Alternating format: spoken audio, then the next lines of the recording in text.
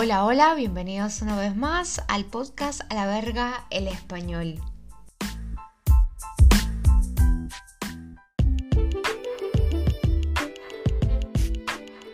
Bueno, como ya saben, este pequeño espacio está hecho para los estudiantes que quieren practicar un poquito su español y sobre todo que quieren enfocarse en la parte comunicativa ya a un nivel un poco más avanzado. Así que por eso también es mi ritmo un poco acelerado.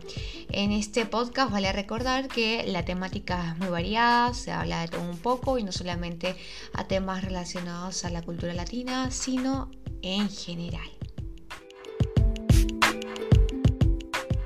Venezuela se ha convertido en una causa global, en una causa mundial. Mi mayor Muchas cosas han pasado en Venezuela desde que ocurrieron las elecciones presidenciales el pasado 28 de julio. Eh, han habido persecuciones, denuncias, desapariciones, secuestros, en fin. Esta vez me quiero centrar en o ahora me quiero centrar para hablar de una de las últimas noticias que tiene que ver con el exilio del Mundo González, quien por mayoría fue elegido eh, como presidente de Venezuela.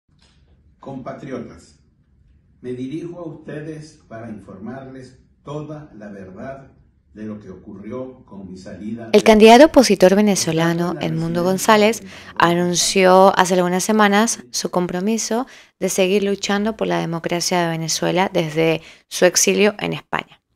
Eh, en un breve mensaje de audio compartido por su equipo de prensa de la plataforma unitaria democrática PUD, eh, por sus siglas, González dijo que su salida de Caracas fue difícil.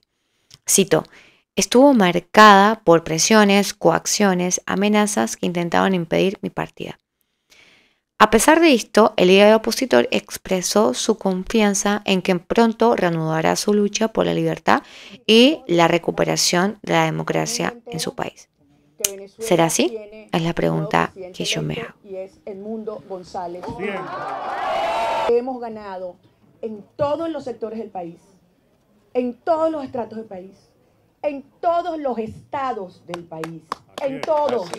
Ganamos. Aquí bueno, González abandonó Venezuela poco más de un mes de las controversiales elecciones presidenciales que les comentaba al inicio, que fueron el 28 de julio, en las cuales el Consejo Nacional Electoral, por sus siglas CNE, eh, bajo el control del gobierno, declaró ganador al presidente Nicolás Maduro. Este organismo no publicó los resultados desglosados por mesas de votaciones que respaldan la supuesta victoria del mandatario que busca un tercer mandato.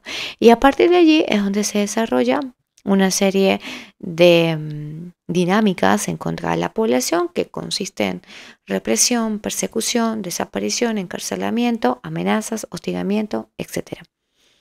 Bueno, em, ¿qué es lo que pasa acá? Que al no publicarse los resultados desglosados por mesa de votación que respaldan esta supuesta victoria, em, encabezada por María Corina Machado y González, eh, tampoco em, fue aceptado eh, por la comunidad internacional estas, estos supuestos resultados que entrega el CNE. Members of the press, I am privileged to introduce the Foreign Minister of Panama, Mr. Javier Martinez Acha.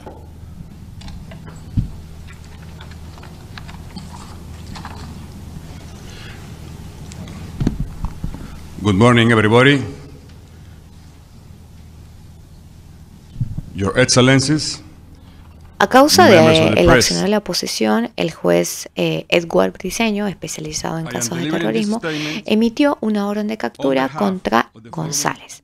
Bueno, después de recibir una solicitud de la Fiscalía General.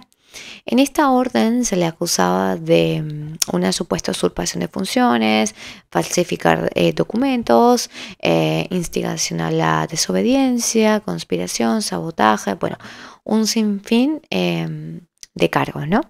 A respecto de esto, María Corina Machado, quien ganó ampliamente las primarias de la oposición, para quien no sabe, pero que mm, el Tribunal Superior prohibió su postulación, eh, afirmó que la vida de Mundo González está en peligro.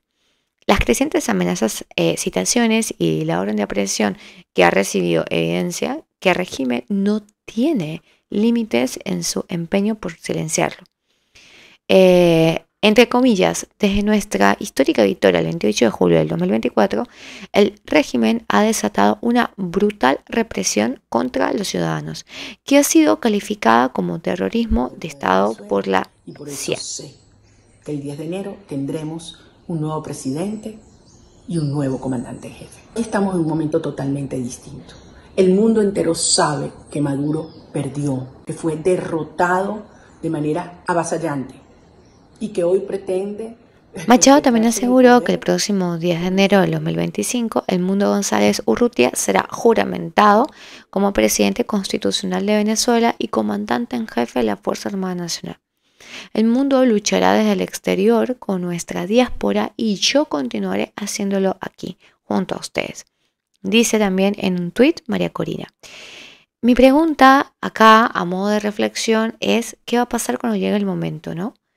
Volveremos al 2017, que ha sido una de las mayores olas migratorias del país, eh, donde a causa de las manifestaciones del momento, de las persecuciones, de las muertes, muchos tuvieron que migrar, ¿no? También lo vimos como ocurrió en los acontecimientos del 2019. Y la pregunta que cabe hacerse es si esta vez esto será diferente. Bueno, mientras tanto, el alto representante de la política exterior de la Unión Europea, Joseph Borrell, lamentó que hoy es un día triste para la democracia en Venezuela en una democracia, ningún político debería verse obligado a buscar asilo en otro país. Bueno, según Borrell y el Ministerio de Asuntos Exteriores de Países Bajos, que es Caspar Belkamp, se había eh, ya le habían concebido asilo a González en la residencia diplomática neerlandesa en Caracas, después de las elecciones, donde permaneció eh, hasta que viajó a España. We applaud the Venezuelan people for their participation in the July 28th presidential election. We commend their courage and commitment to democracy in the face of repression and in the face of adversity. We've seen the announcement just a short while ago by the Venezuelan Electoral Commission. We have Bueno, por otra parte, el secretario de Estados Unidos, Anthony Blinken, afirmó que la salida de González es, entre comillas, el resultado directo de las acciones antidemocráticas que Nicolás Maduro ha impuesto al pueblo venezolano, incluyendo a González y a otros líderes opositores desde las elecciones. Bueno, lo que sí es cierto es que los resultados electorales y la voluntad del pueblo no pueden ser ignorados por Maduro y las autoridades electorales venezolanas. La idea es que nos mantengamos unidos junto con González en su llamado a seguir luchando por la libertad y la restauración de la democracia en Venezuela.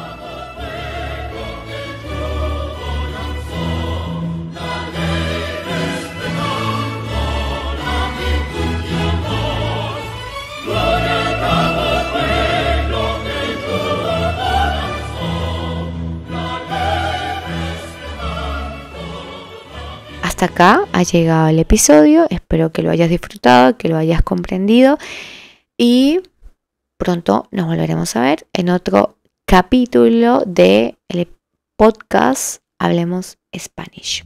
Chao, chao.